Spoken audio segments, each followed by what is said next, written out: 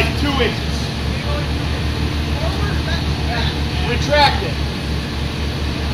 Not too far.